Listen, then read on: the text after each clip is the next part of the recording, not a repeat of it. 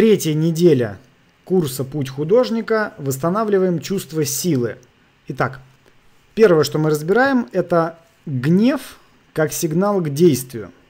А вот представьте, вы начинаете развиваться в какой-то области. Если вы выходите из творческого тупика, а, либо развиваете какую-то другую нишу, которую вы взяли в качестве объекта а, на данный курс, а, то в какой-то момент у вас может возникать чувство дискомфорта при определенных условиях. Ну, допустим, смотрите на игру какого-то актера, ну, например, вашего близкого друга, и вы думаете, что я мог бы сделать лучше – но почему-то я этого не сделал. И при этом возникает вот это самое чувство внутреннего дискомфорта, чувство гнева.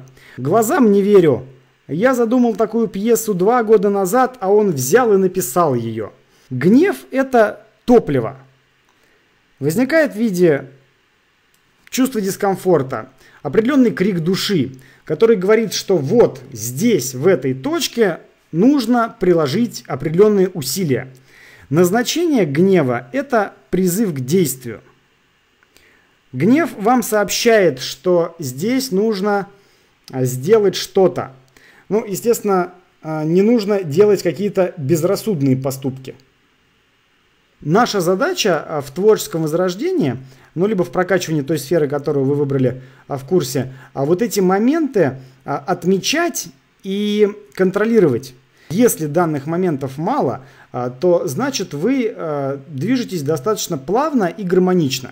Если вас постоянно чувство а, гнева терзает, значит вы где-то вот работаете больше в другую сторону, нежели чем вы запланировали.